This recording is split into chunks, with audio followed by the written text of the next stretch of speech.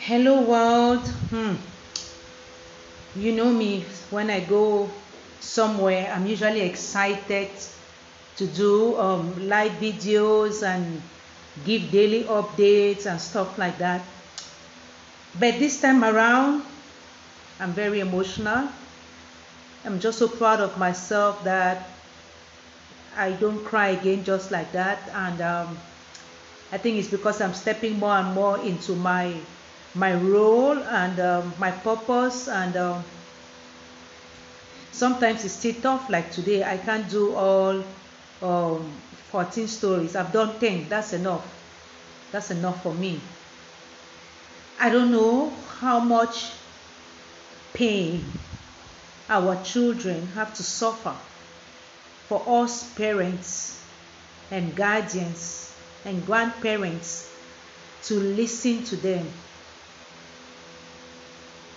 I don't know how much acting out they have to act out for us to pay attention and not reject them, but instead believe them and hug them and love them.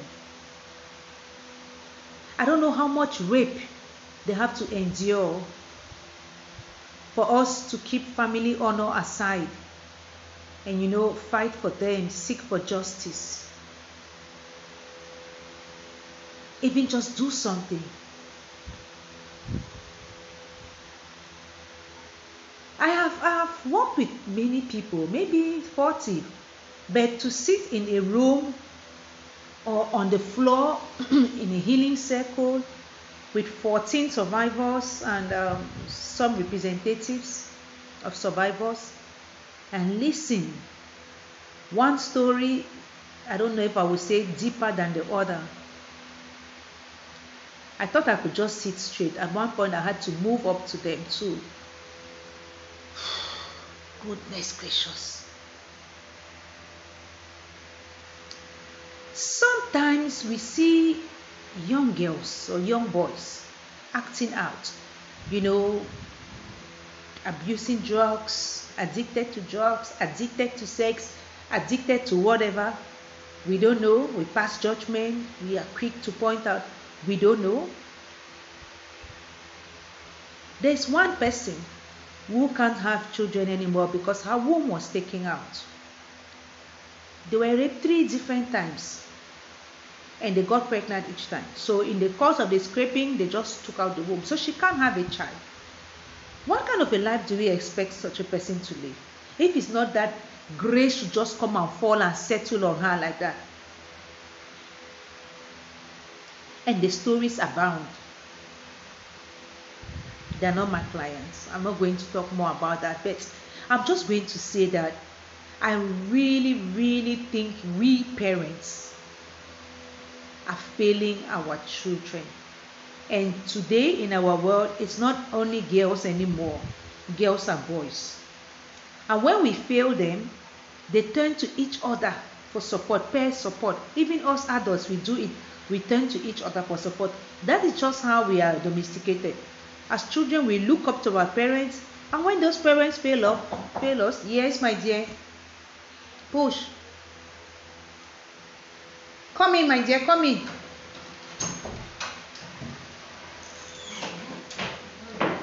And when those parents fail us, well, we look up to our friends. Thank you, darling. Take care now. And then imagine if those friends are just as broken as we are. What will be the solution? Well, let's drag, let's shoot, let's sniff, let's go to the party, let's drink, let's what else? Because it at least helps them to escape the pain, even if for a while. I heard the story of a young girl who was addicted to tramadol. What are we going to say if we see her acting out? All that anger. Then you say she's stubborn, she's rebellious. Some said they told their parents, they told their mother, and their mother said, Hey, hey, hey, hey, hey, let no one hear. As you are telling me, this is the first and the last time you are opening your mouth to say that story to anybody. Some even said they were asked, Is it true? Another one said, they asked her, What did you even go to do there? Like any child who visits the family home has to be raped. Go to the beach and catch all the people wearing swimming pants and rape them if it's because of the way people are dressed. I think we have for so long laid the emphasis on the wrong person, the victim. We are blaming them for what? Have we not seen people even with iron gate thieves still enter inside? Are we going to ask them, oh, maybe you did not put three layers of cement, you did not put 10 rods of iron, you did not do this, you did not do that? Oh, my heart. I was not going to sleep with this today. Oh, no. I can't go back and finish. I can't. I can't. I, I've, I've reached there like that. Seriously. Oh, Lord, no.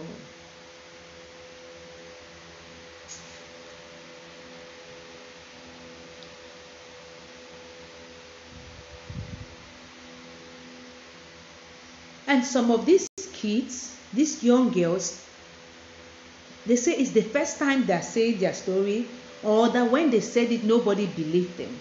Or they say you look for it, or you too like it. Oh, you hang around with people. Oh, do you, why can't we? Why can't we?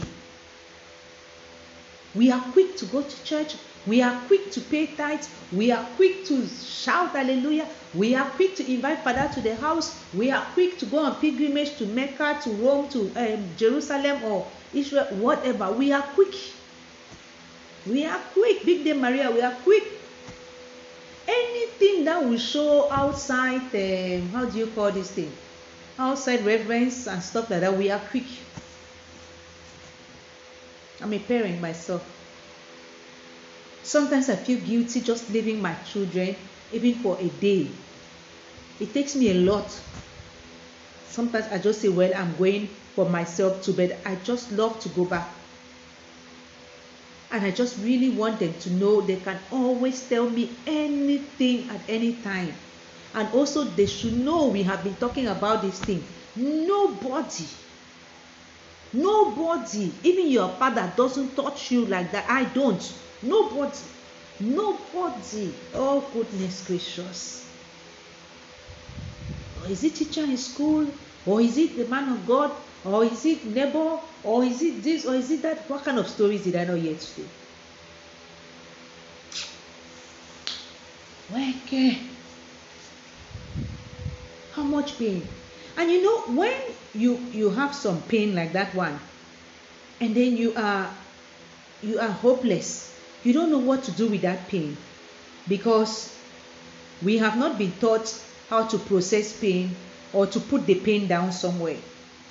So we carry that pain inside us. And we carry and carry, and other things add up. Sometimes we feel, oh, okay for example one said they said don't say it because if you say you might not you might never get married now you don't say it then you get married and you cannot have a good relationship with the man you married and then one day now he has to know because of the way you are behaving and everything and then maybe now he turns you out or he ignores you there and starts going him all over the place what are you going to do with that pain some have turned to smoking some to whatever, lesbianism, anything. Just to numb that pain. Because you don't know where to put the pain down. So you want to numb the pain. That is what alcohol does. That is what drugs does. That is what sex does. It helps you to numb. So we would rather have our children numb their pain than tell us so we help them to process and we also pursue the perpetrators. When families don't pursue these perpetrators, they go and negotiate. Negotiate what? That money is going to unrape that child? What kind of betrayal is that?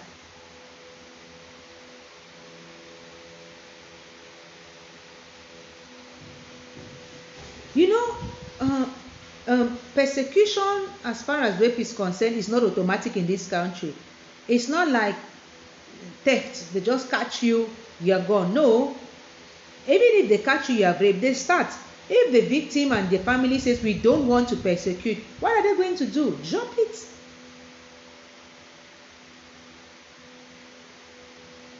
So the victim and the family must be willing. The statute of limitation is 10 years in this country. If that child was three years when they, they were raped, like Judy, in 10 years they will be 13. Do they know how to go and start a case? Do they know how to contact a lawyer? What do they know? So I really honor that child's parents, mother in particular, who said no. All the pressure and the stress we got there, she said no. And by her faith, I said no. I'm going to go there. I will not stop. How many parents will do that? How many? Will take the money, take the money and do what? And go and have the child stitch or something like that. And is that going to wipe the child's memory? Is that going to give the child another womb? Is that going to do what to that child? And that child is going to grow up. And even if there's still a womb, the child will have another child. With all that brokenness inside the child, what does that child give down to that child? What? What does that baby inherit from this broken mother? What? I have watched a lot of Iyanla fix my life to know that this thing is not magic. It happens there in America, it happens here. I've worked with a lot of people. Ah, why there, right in that hall? I got a new, another girl who has been raped three times by three different people, and nobody wants her in the family. People think she look for it. Uh-huh.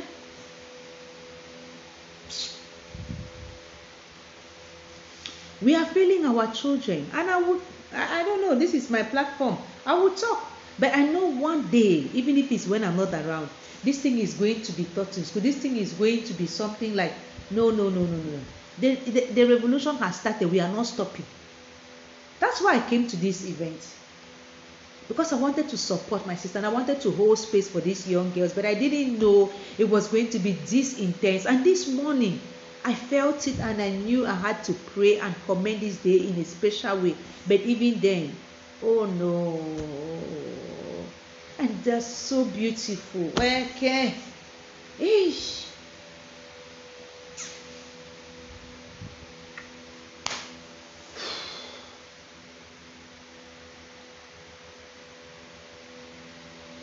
We all have different levels of brokenness. I know, I know I have my own plenty. But these ones are still young. Maybe, maybe their families can still try to make up with them. at let's just believe them, just hug them. You know, just a hug can heal somebody. A hug. But some, nobody hugs them. Nobody in their family, nobody believes them and so they are left to their own device there. You know of course they live with each other. They hang around with each other. They smoke with each other. They do whatever with each other. That's their own home. Can you blame them?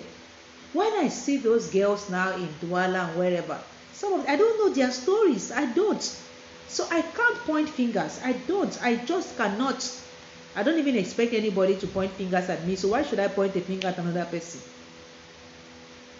But i'm saying this so that those of us who will listen and might share and those who will listen later realize that sometimes all the time even don't point a finger at somebody you don't know their story.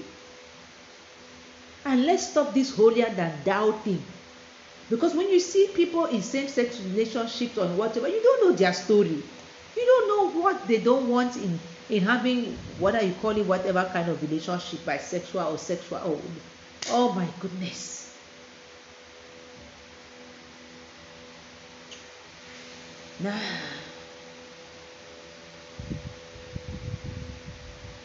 I still have some way to go, you know, to be to be a tough psychotherapist. No, no, no, no, no. I couldn't stay there and listen to all of those stories. I had to leave. I had to. My head.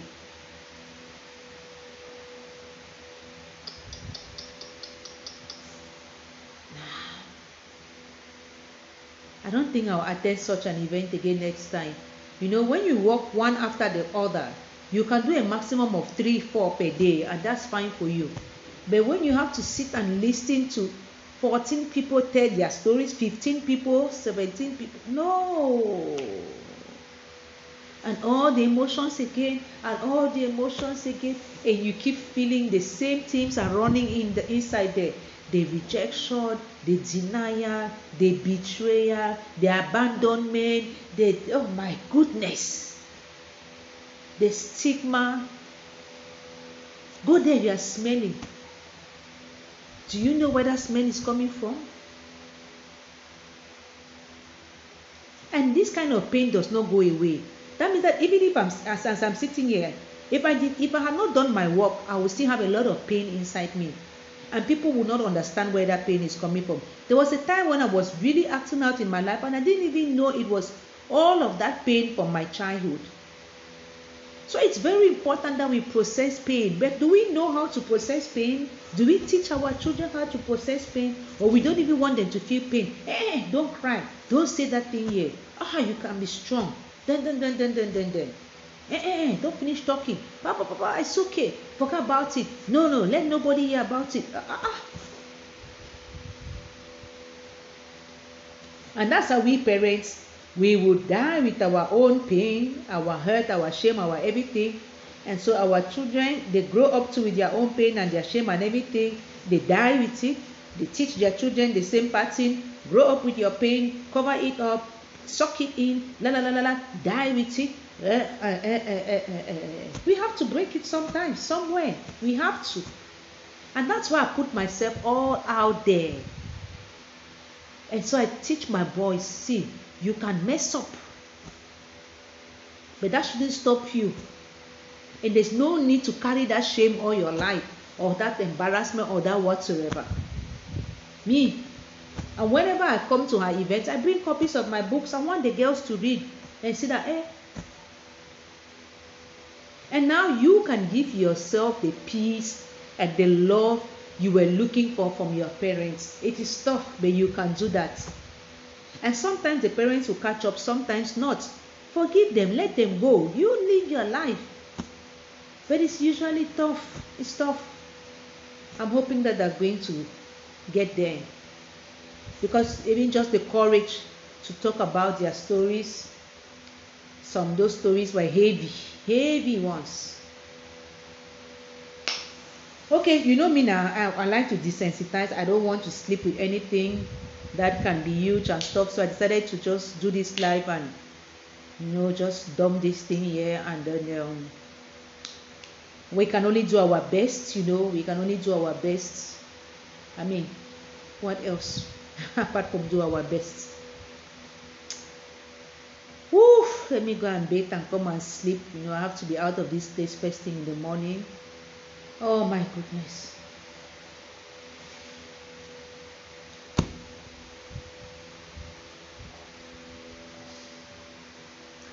And that's why people like us, civil society organizations, we cannot afford not to work with each other, support each other. Because if we really want to help the people, you know, we can't do everything. We can't.